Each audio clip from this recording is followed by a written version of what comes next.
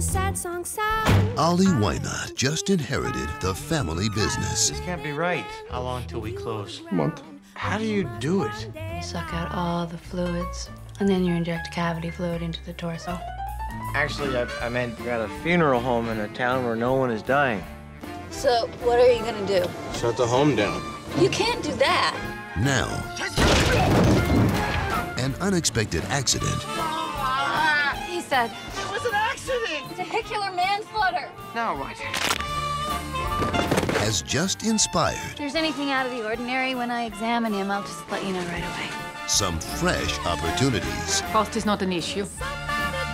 We could have built a conveyor belt from the old folks home across the way. They built a new place over in Mayfield, and Wayne Snar got all the business. What's this? It's not a huge offer, but it's the best one you're gonna get. He's our only competition. So what do we do? Why don't we just take care of the problem?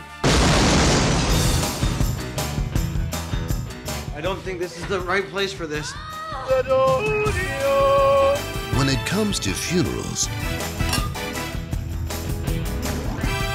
the competition is stiff. You're really good at this. Bodies count. Business must be good, especially now yours is the only funeral home in the county. And some secrets You must be bad luck for my county, Mr. Wynot. never stay buried. Lots of folks been dying since you got here. Well, that's too bad.